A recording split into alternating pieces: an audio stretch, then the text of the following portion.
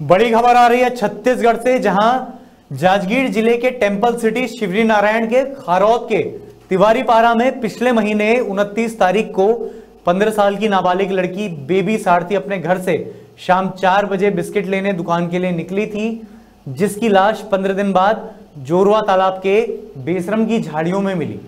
अपराधी की गिरफ्तारी के लिए शिवरी नारायण पुलिस के साथ ज़िले भर से लगभग 12 से 15 काबिल पुलिस अफसरों की टीम गठित की गई, जिन्होंने एक हफ़्ते के भीतर अपराधी को गिरफ़्तार कर जेल भेज दिया। जी हाँ शिवरी नारायण में आज पुलिस थाने में इसका खुलासा किया गया।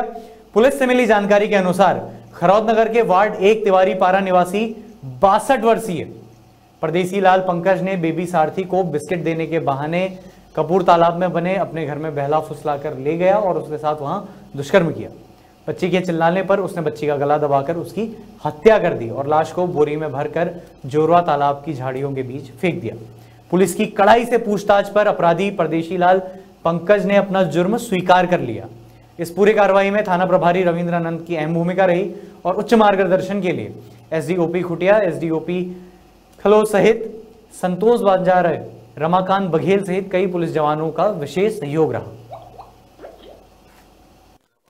आई तो घर वालों को उसकी थोड़ी फ़िक्र हुई और घर वाले उसके, उसकी तलाश करने शुरू किए, जाके, जो कैमरे लगे हैं, उसमें भी उन्होंने देखा कहीं तरह गई होगी करके। उनतीस तीस तथा तीस तारीख को यहाँ मुंशुदगी की रिपोर्ट दर्ज कराई गई थी, जिसमें हम लोगों ने नाबालिग बालिका के होने की सूचना दर्ज किया था।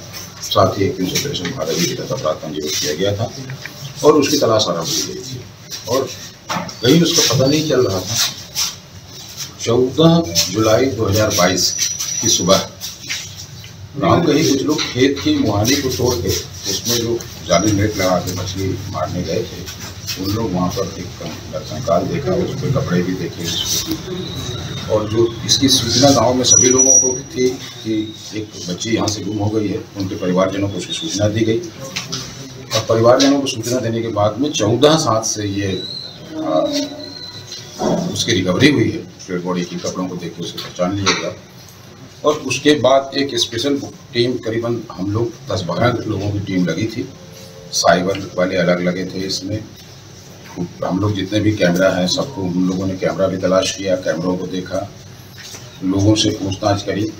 पूरे मोहल्ले के लोगों से लगभग लगभग हम लोग एक एक परिवार, एक एक घर में जाके पूछताछ किए थे। सारा पूछताछ होने के बाद में और गाँव वालों को भी एक संदेह था। वहाँ एक तालाब के किनारे एकांत में एक मकान है, जो वो अकेले रहता है। उसके प्रीवियस कैरेक्टर को भी देखा गया। उस व्यक्ति का वो बालकों में एम्प्लॉय था रिटायर होके आया है। और उसके बालकों में भी मॉरल एक ऑफेंस उसके खिलाफ क्रिमिनल केस रजिस्टर है। महिलाओं के खिलाफ चौवन का छेड़छाड़ का अपराध, जिसमें जेल भी गया था। यहाँ भी उस घर में और कोई नहीं रहता, केवल वही रहता है। उसके बारे में ये जानकारी मिली कि वो जो महिलाएँ भी वहाँ नहाने आने जाती हैं, उनके लिए भी उसकी दृष्टि अच्छी नहीं रहती थी। और ये भी सुनने को मिला कि ये बच्चियों के साथ भी कोशिश करता था कुछ अच्छी उसकी दृष्टि नहीं थी। इस दिशा में जब पूछताछ हुई, आगे उसकी जाँच हुई, तब ये उससे वो परदेसी पंकज उसका नाम है। उसने फिर इस बात को बताया कि वो उसको चाहता था, पसंद करता था, उनके सहेलियों को, बच्चियों को, वो छिरछिरा के त्यौहार में या इस तरह में उनको पैसे देता था, बांटता था। उसका ही अकृत्य होना पाया गया? उसने उस बच्ची को फुसला करके अपने वहाँ बुलाया मकान में और उसके साथ सेक्सुअल ऑफेंस करने का प्रयास किया। विरोध करने पर उसकी, उसने वहाँ पर हत्या कर दी। और बाद में बोरे में डालकर उसको साइकिल से ले जाकर वहाँ पर डिस्पोज कर दिया डंप कर दिया।